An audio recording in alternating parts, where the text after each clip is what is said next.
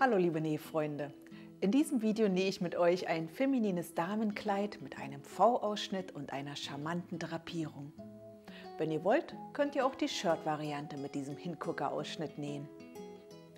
Beide sehen toll aus einem weich fließenden Jersey aus und werden super festlich, wenn ihr einen Stretch-Samt oder Glitzerstoff verwendet. Bevor ich euch zeige, wie der Ausschnitt mit diesem Wow-Effekt gelingt, abonniert noch meinen Kanal und schenkt mir gerne ein Like. Bis gleich!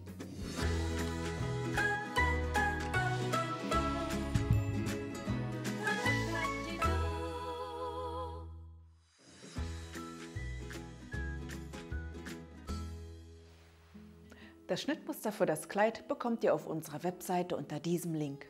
Es enthält einen Ballonärmel in zwei Längen sowie einen normalen, glatt anliegenden Ärmel in drei Längen. Das Kleid ist durchgehend geschnitten, leicht tailliert und wird am Rücken mit Abnähern in Form gebracht. Unser Schnittmuster für das Shirt enthält dieselben verschiedenen Ärmelvarianten. Ihr bekommt es unter diesem Link. Damit die Drapierung am Ausschnitt schön fällt und am Bauch nicht aufträgt, solltet ihr in jedem Fall einen weich fließenden Jersey, zum Beispiel aus Tencel, Modal oder Viskose verwenden. Auch Stretchsamt oder Polyester-Jerseys sind empfehlenswert. Passend für dieses Nähprojekt haben wir eine schöne Stoffauswahl für euch auf unserer Webseite. Für die Anleitung habe ich die Schnittteile für das Kleid mit langen Ballonärmeln aus einem gemusterten Viskose-Jersey hier schon einmal vorbereitet. Wir benötigen ein Vorder- und ein Rückenteil. Beide werden im Bruch zugeschnitten. Hier müssen jeweils Markierungen übertragen werden. Am Vorderteil die Nahtecke für die Drapierung ich lege das Schnittteil auf die linke Stoffseite auf, zeichne den Punkt mit einem Markierstift an, steche mit einer Stecknadel hindurch, um den Punkt auch auf der anderen Hälfte zu markieren.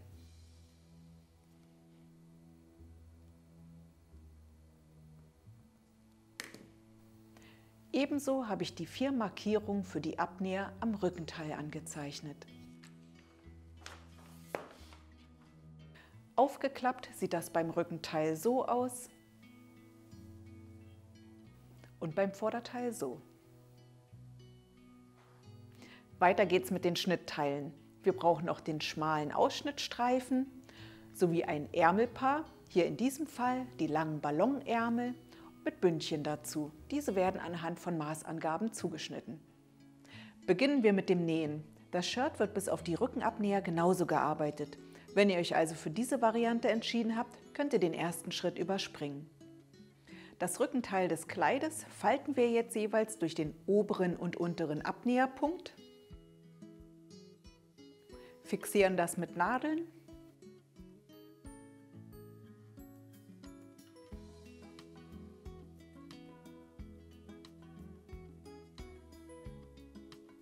und stecken die beiden mittigen Punkte genau zusammen. Damit der Abnäher oben und unten schön schmal ausläuft, beginne ich jeweils in der Mitte und nähe erst die eine und dann die andere Seite. Wenn ihr wollt, könnt ihr euch die Strecken auch zuvor mit einem Markierstift anzeichnen. Hierfür kommt jetzt meine Yuki DX7 Nähmaschine zum Einsatz. Sie ist super vielseitig und hat einen tollen Stofftransport, der auch bei Jersey-Nähprojekten immer zuverlässig arbeitet. Im weiteren Verlauf werde ich unterschiedliche Garne von Gütermann nutzen und zwar hochwertiges Allesnähergarn, Overlock-Garn aus recyceltem Polyester und für die Säume dann elastisches Maraflex-Garn.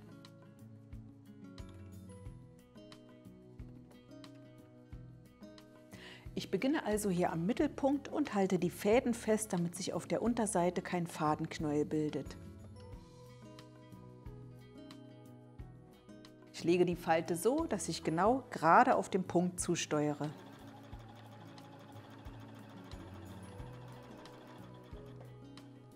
Der letzte Stich ist genau im Punkt. Ich nähe einige Stiche darüber hinaus.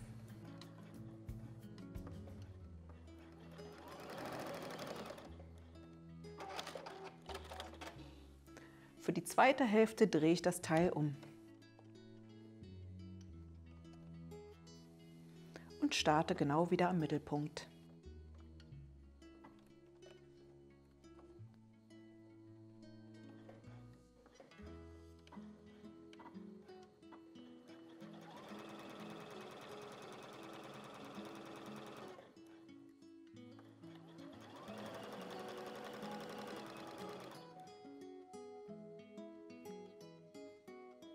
Nahtende lasse ich wieder auslaufen.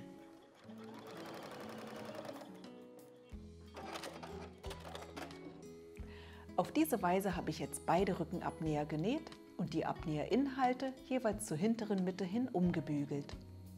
Die Fadenenden habe ich stehen gelassen, ihr könnt sie verknoten, wenn ihr wollt. Meiner Erfahrung nach ist das nicht nötig. Nun geht es weiter mit dem Vorderteil. Beim Shirt ist dies der erste Arbeitsschritt. Zuerst legen wir vier kleine Falten und zwar anhand dieser Knipse hier. Eine Falte besteht aus je drei Knipsen der unterste Knips muss auf den obersten gelegt werden. Die rechte Stoffseite liegt oben. Der Faltenbruch zeigt jeweils zum Ausschnitt hin. Mit Stecknadeln werden die Falten fixiert.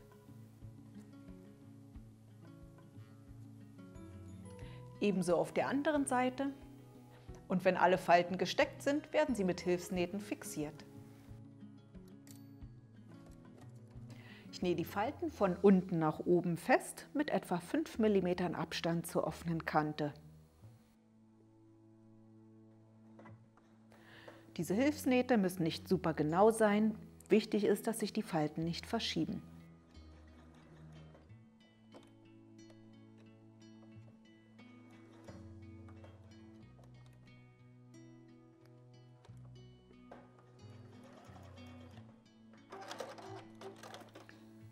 Der anderen Seite.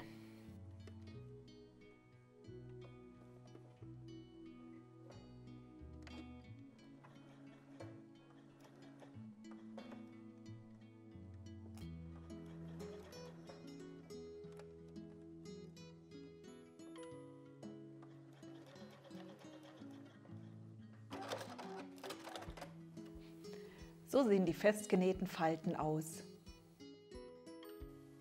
Als nächstes klappe ich das Vorderteil mittig rechts auf rechts.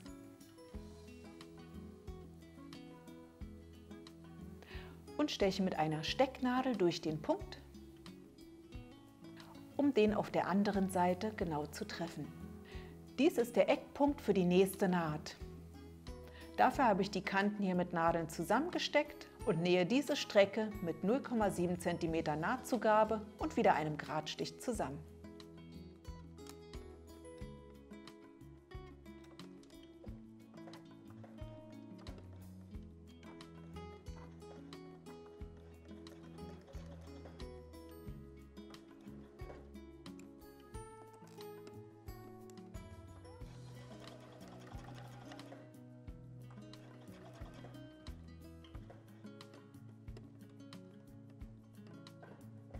Hier steche ich genau in den Eckpunkt und drehe das Teil.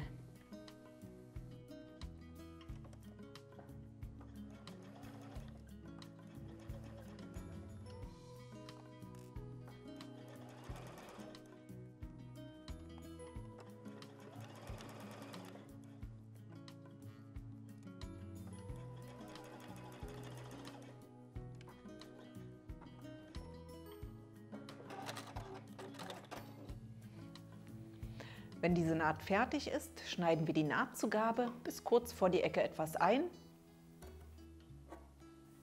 und wenden dann diesen kleinen Schlauch.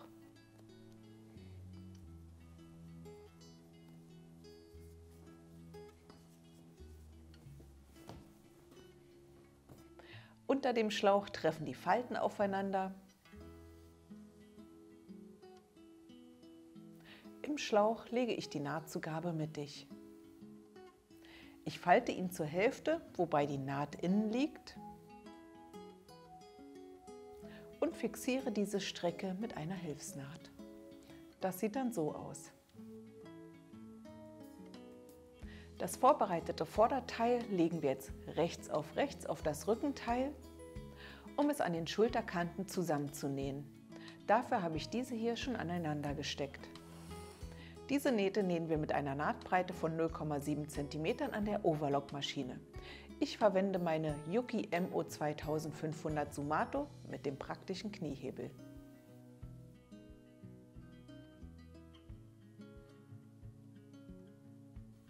Bei diesem flutschigen Stoff ist es hilfreich, das Differential zu erhöhen, damit die Stoffkanten beim Nähen nicht ausgedehnt werden.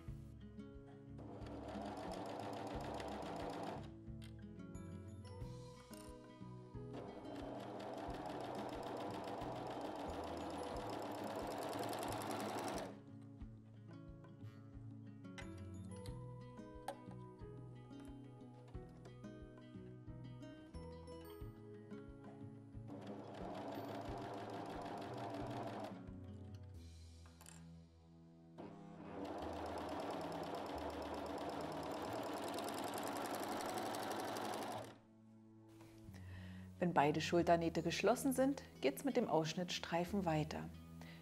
Dieser wird zunächst an den kurzen Enden rechts auf rechts mit einem Gradstich und 0,7 cm Nahtzugabe zusammengenäht.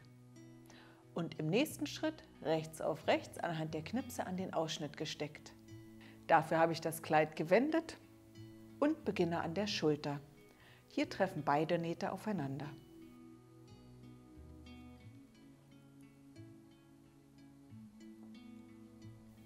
Weiter geht's mit den nächsten Knipsen.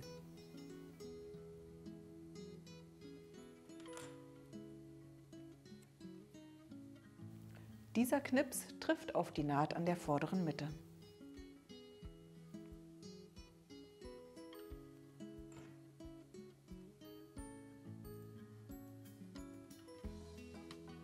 Wenn der Streifen rundherum festgesteckt ist, nähe ich ihn mit der Overlock an.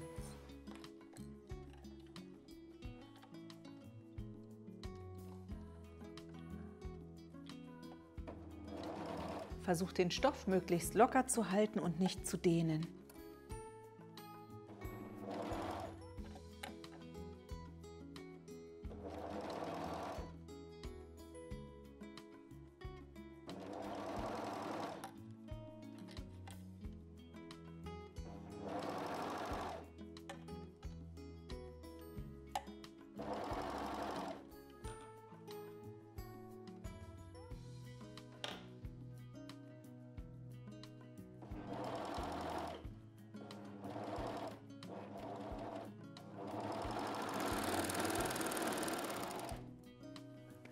So sieht der angenähte Streifen aus.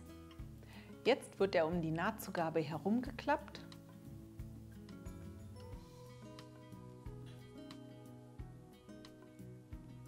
Und diese ins Innere. Und dort festgesteckt.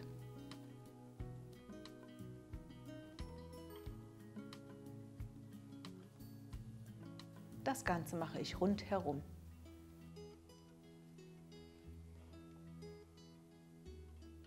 So ist jetzt alles festgesteckt.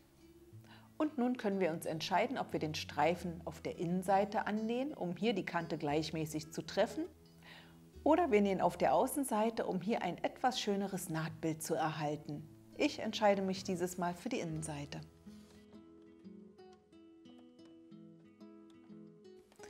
Ich beginne jetzt am Rückenteil und achte darauf, dass die Bandbreite auf der rechten Seite schön gleichmäßig bleibt Ebenso der Abstand der Naht zur linken Kante. Hier ist es wieder wichtig, den Stoff nicht zu dehnen. Schaut mal, ob ihr bei eurer Nähmaschine den Nähfußdruck etwas verringern könnt.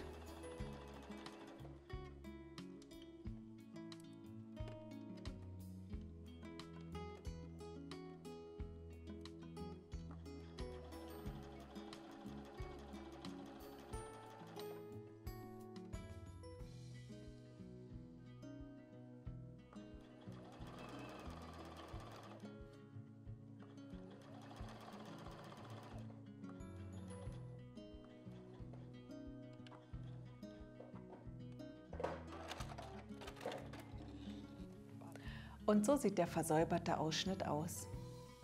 Falls bei euch die Kante doch etwas ausgedehnt und wellig sein sollte, zeige ich euch jetzt, wie ihr das mit Bügeln wieder in Form bringen könnt.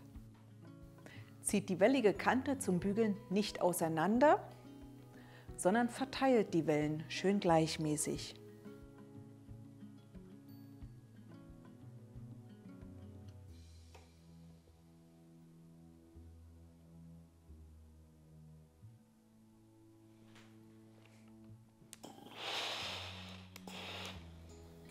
Geht dann mit Dampf sanft darüber.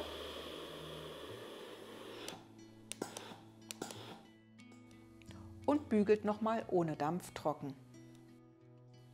Lasst den Stoff anschließend gut abkühlen. Weiter geht's mit dem Zipfelchen hier. Das mit einer Hilfsnaht zusammengenähte Ende habe ich hier schon mit einer Overlocknaht versäubert. Die Fadenraupen ziehe ich mit einer Fangnadel ein, eine stumpfe Sticknadel wäre eine Alternative dazu. Die Schlaufe liegt jetzt glatt, mittig auf dem Ausschnitt. Die Öffnung zeigt zu dieser Seite, könnte auch auf die andere Seite zeigen, das ist egal. Wichtig ist, dass sie im oberen Bereich bündig gefaltet ist. Jetzt messe ich 4,5 cm von oben ab. Das ist genau die Stelle, an der die Schlaufe um den Ausschnitt geschlagen wird. Also stecke ich sie hier genau mittig auf der darunter liegenden Naht fest.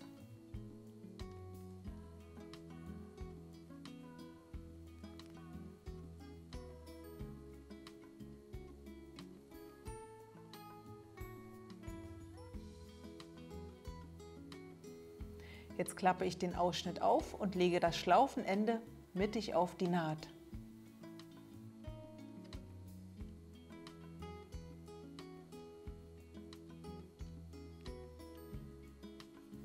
Und stecke das von rechts fest, denn hier fixiere ich die Schlaufe im Nahtschatten.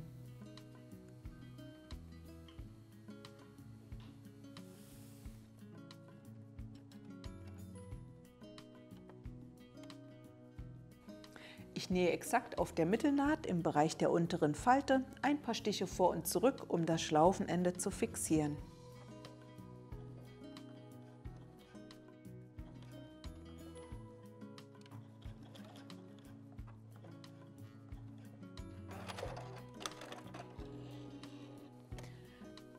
Entferne ich gleich die zweite Nadel und nähe auf der Ausschnittkante das darunter liegende Schlaufenstück fest. Dafür drücke ich das äußere Schlaufenteil beiseite.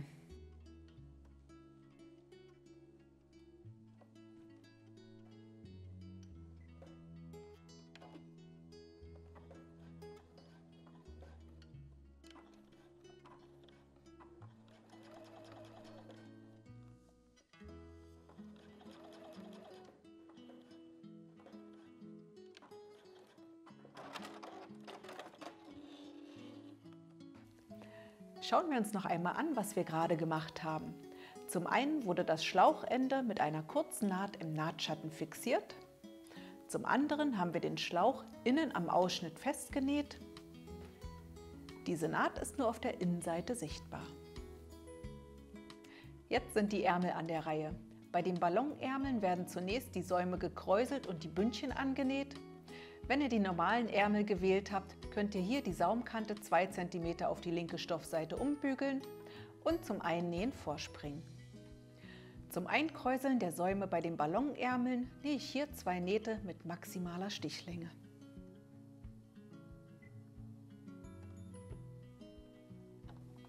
Am Anfang und Ende lasse ich die Fäden lang stehen und beginne mit der Naht etwa 1,5 cm von der Kante entfernt. Sie verläuft mit 3 mm Abstand zur Kante.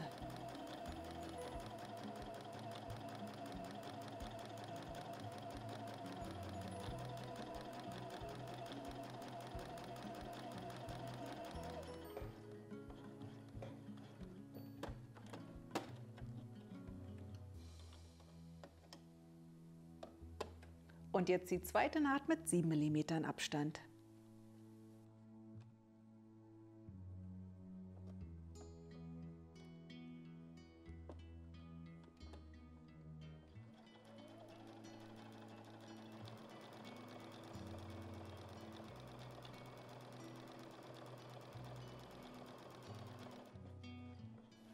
Auch hier lasse ich am Ende wieder die Fäden lang stehen.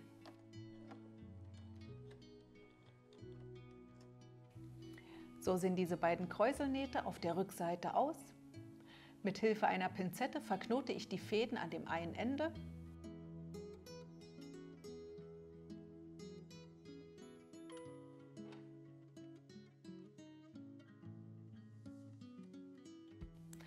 anderen Ende ziehe ich an den Unterfäden, um den Ärmelsaum auf die Strecke des Bündchens einzukräuseln.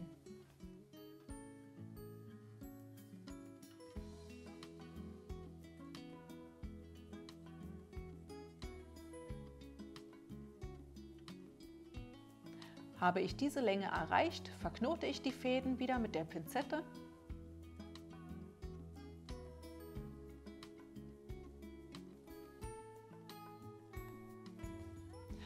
verteile die kleinen Fältchen gleichmäßig. Um die Kräuselung für das Nähen zu fixieren, könnt ihr sie überbügeln, jedoch nur im Bereich der Nähte. Nun könnt ihr euch aussuchen, ob ihr den Ärmel direkt an das Shirt bzw. Kleid annäht, um dann später an den geschlossenen Ärmelsaum das Bündchen anzunähen. Dies sorgt für eine schöne Innenverarbeitung. Oder ob ihr so wie ich das Bündchen an den offenliegenden Ärmel annäht. Dies lässt sich leichter händeln. Hierbei wird der Ärmelsaum zunächst links auf rechts an eine Bündchenseite angenäht.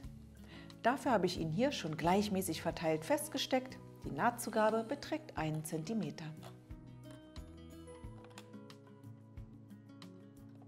Die Naht verläuft jetzt neben den Kräuselnähten.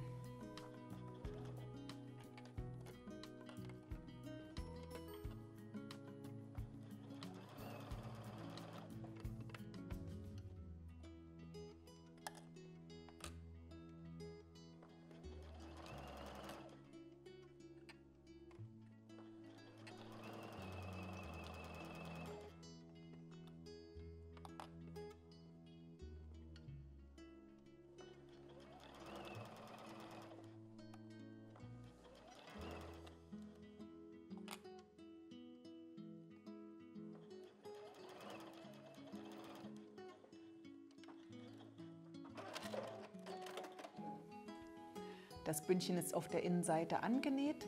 Jetzt klappe ich es um, falte es zur Hälfte und stecke den Bruch an der vorherigen Naht fest.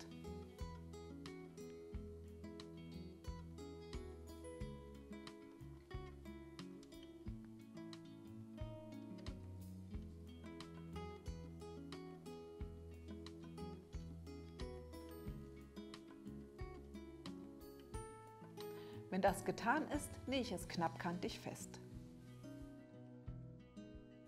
Um den Nahtbeginn an dieser dicken Stelle zu erleichtern, lege ich ein gefaltetes Stück Stoff unter den Nähfuß.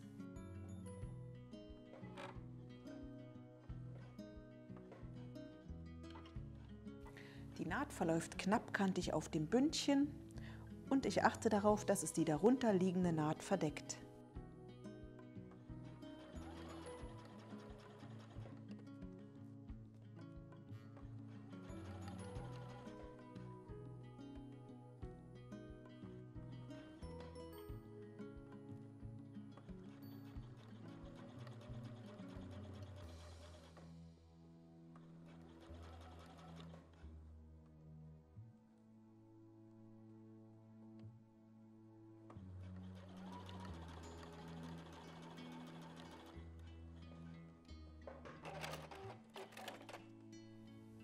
Damit ist der Saum des Ballonärmels fertig.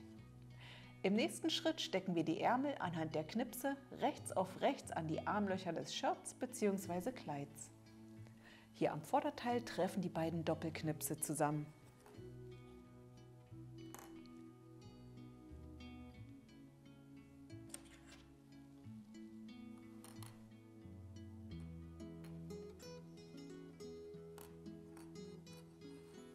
Dieser Knips kommt an die Schulternaht.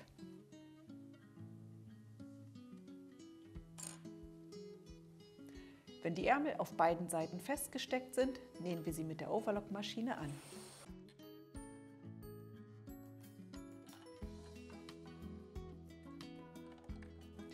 Haltet die Stofflagen schön locker und achtet darauf, dass die Kanten bündig liegen.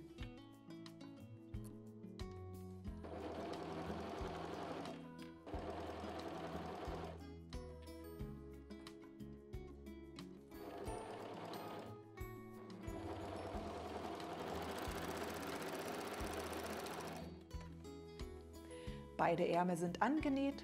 Als nächstes werden die Seitennähte geschlossen. Dafür habe ich hier die Kanten schon rechts auf rechts zusammengesteckt. Bei den schon fertig gesäumten Ballonärmeln ist es gut, hier die Stelle schon vorab mit der Nähmaschine zu nähen, damit sich bei der Overlockmaschine die Lagen nicht verschieben. Ich beginne mit der Naht am Saum.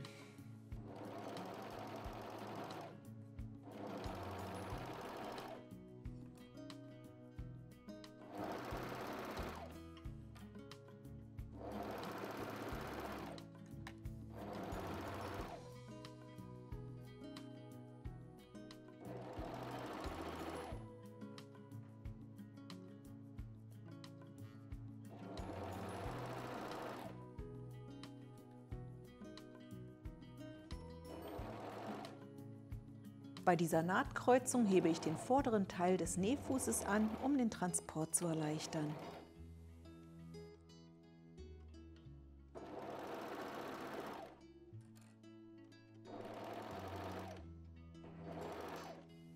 Auch hier hebe ich wieder den Nähfuß an.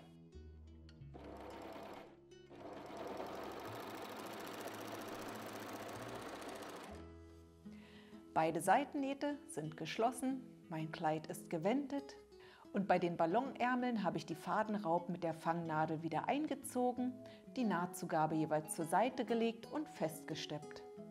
Wenn ihr das Bündchen noch annähen müsst, dann schließt es jetzt zu einem Ring und näht es wie vorhin gezeigt erst innen und dann außen an. Bei den normalen Ärmeln fehlen jetzt noch die Säume, ebenso natürlich der Shirt- oder Kleidsaum. Dieser wird 2 cm auf die linke Stoffseite umgebügelt, das habe ich hier schon gemacht, und außerdem die Kante mit einer Overlock-Naht versäubert, da ich den Saum mit dem elastischen Maraflex-Garn nähen möchte. Alternativ könnt ihr dafür eure Covermaschine verwenden oder die Naht mit einer Zwillingsnadel nähen, dann müsst ihr die Kante nicht vorher versäubern.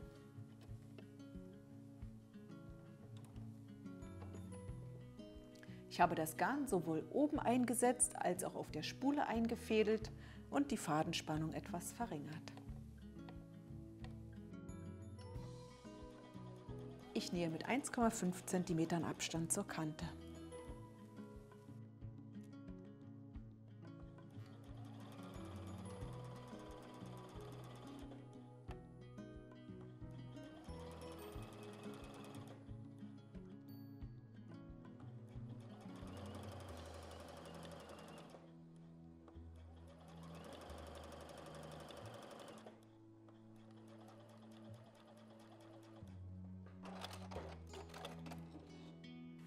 Der Saum ist fertig und ich habe ihn noch einmal übergebügelt. Jetzt bin ich bereit und freue mich drauf, mein neues, selbstgenähtes Kleid auszuführen. Ich wünsche euch viel Spaß beim Nachnähen und danke euch schon mal für eure Kommentare und hoffentlich für eure Daumen nach oben. Ich sage Tschüss, bis zum nächsten Nähvideo.